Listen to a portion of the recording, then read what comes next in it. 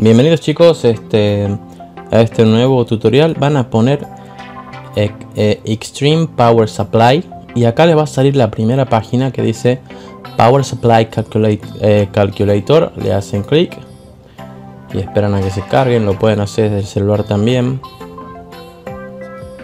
Bien, y vamos a utilizar obviamente la opción de experto. Yo ya la tengo habilitada y básicamente acá tenemos que empezar a armar nuestro este, equipo con nuestras características.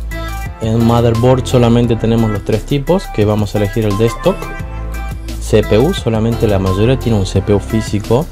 Y acá vamos a buscar el modelo de nuestro CPU yo voy a buscar el mío Intel Core i9 y lo voy a dejar solamente a la velocidad que viene especificada de fábrica y con un, TDP o utilización al 90%. Y en cuanto a memorias voy a elegir cuatro módulos y voy a elegir los módulos de 16 GB de Ok. En cuanto a tarjetas de video, bueno, voy a elegir a Nvidia y voy a utilizar mi voy, voy a elegir de mi lista la placa, la 1080 Ti como ven también da la opción de overclocking que ya vamos a ver cómo aumenta el consumo con el overclocking. Y bueno acá podríamos elegir otra tarjeta de video independientemente si hacemos slide o no. Si hacemos slide vale la pena poner esto en 2 y con tildar esto. Unidades de almacenamiento. Bueno yo tengo una que es una M2 tengo una que es un SSD y otro y otros dos que son eh, unos SATA de 7200 revoluciones. Eh, unidades ópticas no tengo eh, y PCI tengo solamente una ranura ocupada con una eh, high end significa alta último modelo o alta gama o lo mejor de lo que es sonido. Después PCI cards ya no viene nada de esto. Y tengo un keyboard o sea keyboard es teclado y mouse un mouse y obviamente es un mouse gaming y un teclado gaming. Vamos al otro apartado de acá arriba donde me pregunta qué tengo conectado a los puertos USB. Y bueno, que tengo? Eh, tengo un tengo el internet por un USB 2.0 para empezar y tengo una controladora de sonido 3.0 extra y en cuanto a fans, ¿qué tengo en fans? Fans son ventiladores tengo 1 2 3 4 de 250 milímetros eh, o, 25 eh, centímetros. No cuenta el cooler de, que viene con tu micro. Liquid cooling no tengo pero bueno lo voy a poner por la duda el cooling que viene con el micro que es de unos 140 ah también tengo, tengo dos de 140 o de 14 centímetros eh, bien, esto es para opciones de water cooling, yo no tengo nada de esto. El monitor lo voy a dejar a secas y esto es el consumo eléctrico por día. O sea, cuánto tiempo uso la compu. Eh, yo la verdad que no la uso un carajo. La utilizo lo sumo dos horas. Y cuando la uso, obviamente es dos horas por día de gaming y rendering.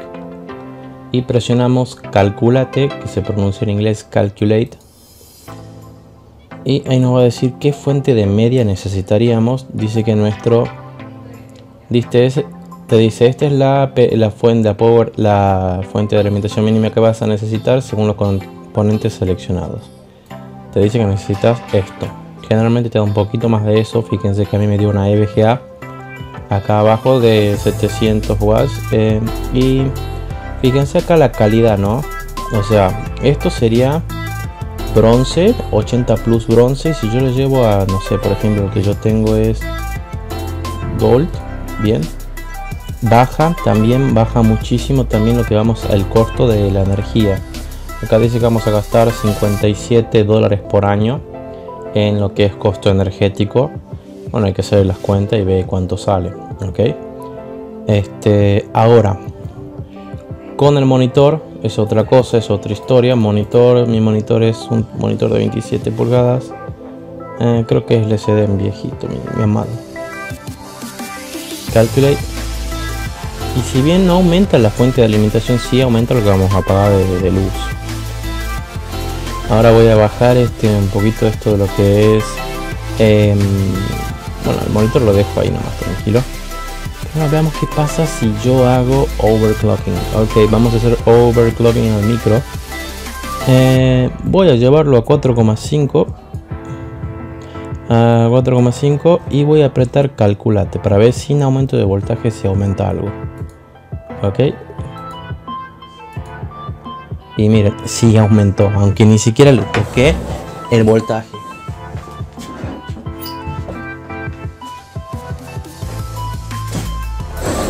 no toqué el voltaje generalmente en las prácticas de, overclocking se suele este, aumentar el voltaje. Acá ya aumentó el consumo y ya me está recomendando una fuente de 850 watts. Bien, vamos a ver esto. Eh, bueno, ¿Dónde está mi...?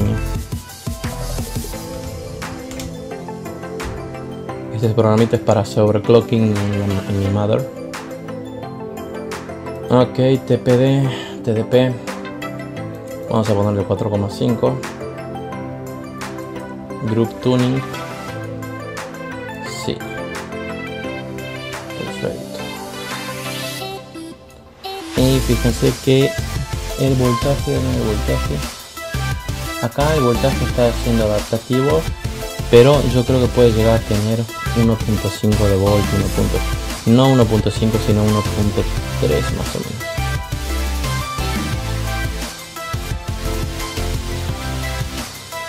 Bien, en cuanto a la placa de video, ya les digo a cuánto puede llegar con overclocking. Um, donde anda mi placa. GPU acá. GPU. Ok, acá tengo mi GPU. Y. Nos fijemos,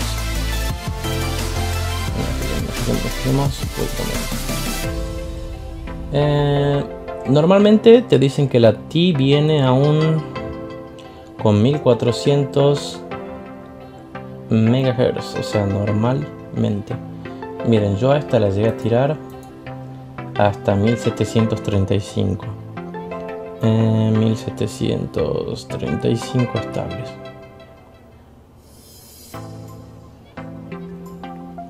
...35... esto y a las memorias las llegué bueno, voy a aumentar 500 MHz más que son las memorias. 500 eh, MHz por ahí.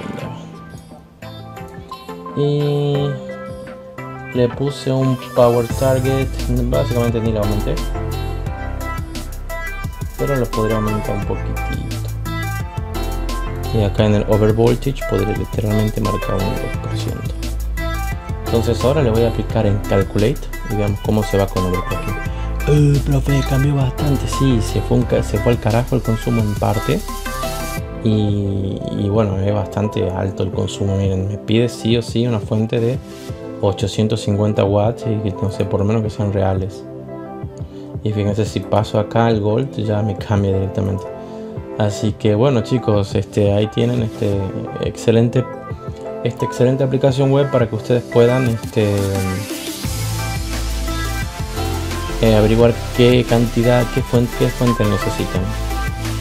Bien, según su gabinete o su futuro gabinete. Pero su futuro Hasta la próxima.